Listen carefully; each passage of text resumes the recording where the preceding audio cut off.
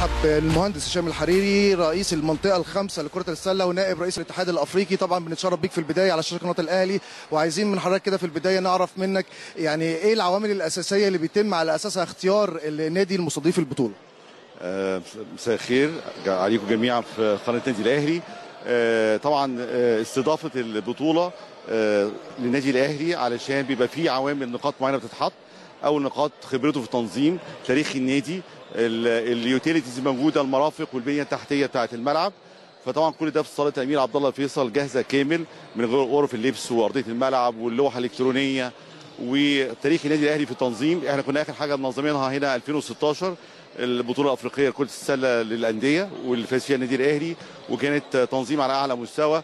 فده اللي رشح النادي الأهلي ينظم التنس السنة دي تاني دور ال 16 لدوري الأبطال الأفريقية لأول سنة يتعمل السنة دي. شايف إسناد البطولة للنادي الأهلي إزاي؟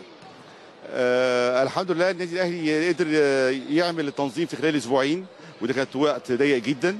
ونجح الحمد لله زي ما شايفين أرضية الملعب وشكل الملعب و وال آه، كل التجهيزات سليمة يعني الحمد لله ما فيش أي اعتراض من الاتحاد الأفريقي خالص على موضوع التنظيم نهائيا يعني.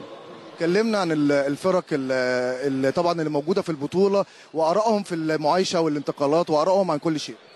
آه، إحنا عندنا أربع فرق مع الأهلي آه، بطل رواندا ريج وبريميرو اوجوستو أول أغسطس الأنجولي وفريرا من موزمبيق. الحمد لله ما فيش شكاوي جت من الفرق خالص. آه، في ال- الإقامة جميلة جدا وفي أحد الفنادق الممتازة. آه، مواعيد التدريب في مواعيدها.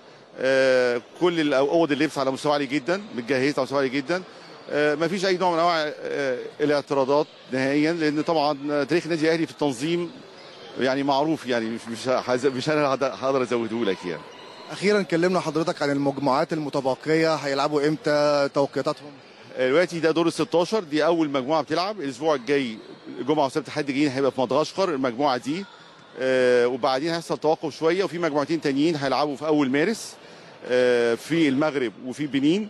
آه، كل مجموعة هيتاخد منها الأول والثاني هيبقوا ثمان فرق هيلعبوا دور الثمانيه آه، مباريات ذهاب وعودة. آه، فبإذن الله النادي الأهلي هيبقى ليه في دور الثمانيه مباراة هنا في ملعبه ومباراة في فريق تاني. ونتمنى بعدها هياخدوا الفرق اللي هتكسب في دور الثمانيه أربع فرق هيلعبوا ال semi final وال final بإذن الله في أول شهر خمسة يوم أربعة وخمسة خمسة بالظبط بإذن الله. أنا متشكر جدا قناة الأهلي على متابعة المباريات وعلى التصوير الجميل ده شكرا